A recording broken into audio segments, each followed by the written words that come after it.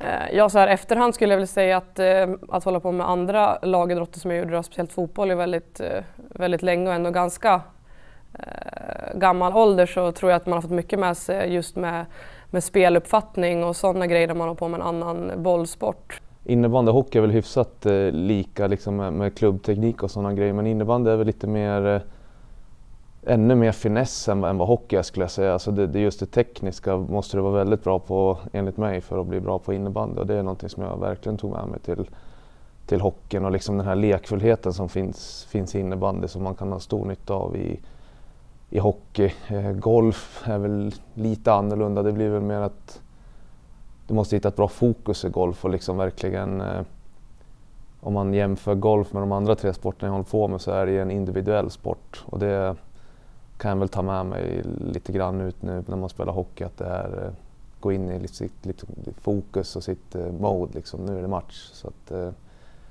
det är väl det. Fotbollen, uh, ja alltså bra träning generellt. Alltså mycket löpning, riktningsförändringar.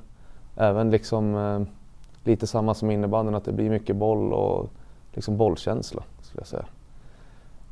Men det jag tar med mig mest ifrån och hållit på med alla olika sporter det tror jag är liksom att lära sig och att vara en grupp, lyssna på ledare och liksom eh, Ja, det är liksom lite olika kulturer i alla sporter skulle jag säga och det, det är bra att liksom kunna hantera allihopa.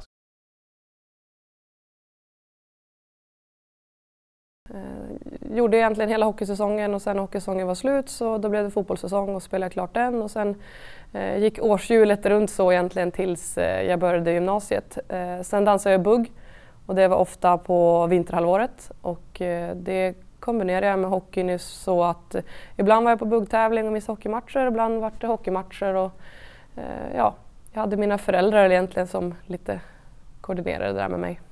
Stödet för mina föräldrar har väl betytt allt egentligen. Deras grundinställning är att idrott ska vara roligt och det har alltid varit roligt och en lek för mig tills jag började gymnasiet.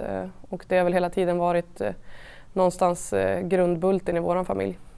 Till att börja med så gick det ihop bra för att jag spelade i, i lag som eh, där jag hade många kompisar. Jag spelade i Sätra där jag är uppvuxen. Eh, det, det, var väldigt lätt att springa mellan träningar, innebandy och hockey till exempel. Det var i samma hall. Eh, men det absolut viktigaste var att man hade bra ledare som, som pushade att man skulle hålla på med många olika sporter och det var därför det gick så pass bra. Sen har man ju stött på liksom komplikationer av, av föräldrar och, och, och, så. Men vi hade starka, bra ledare som, som tillät det. Eh, samma med fotbollen och innebandyn överlappade lite grann också. Och det var samma sak där. Det var, det var liksom eh, nära kontakt mellan fotbollstränaren och innebandytränaren som gjorde att eh, fler än jag kunde ja, hålla på med många olika sporter.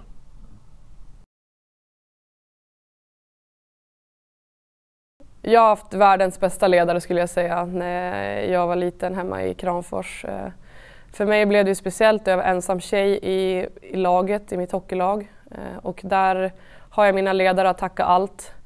Eh, de var väldigt noggranna, de var väldigt, alltså att det skulle vara rättvist i laget. Inte bara för mig som var ensam tjej utan även emellan killarna i laget också. Att alla var lika värda, vi alla fick spela lika mycket. Eh, jag tycker väl att det har blivit lite tidigt nu med de här eh, elitcamperna som är framförallt inom hockeyn. Jag vet inte exakt hur det ser ut inom fotbollen och innebandyn men eh, hockeyn vet jag börjar bli extremt tidig och eh, att folk hoppar mellan lag redan när de är 11-12 år det tror jag inte är någon bra framtid, inte i Gävleborg i alla fall. Så att, jag skulle säga när, när du ska in på gymnasiet så, så kan det vara dags att och, och se över vad du vill göra och vad du tycker är roligast.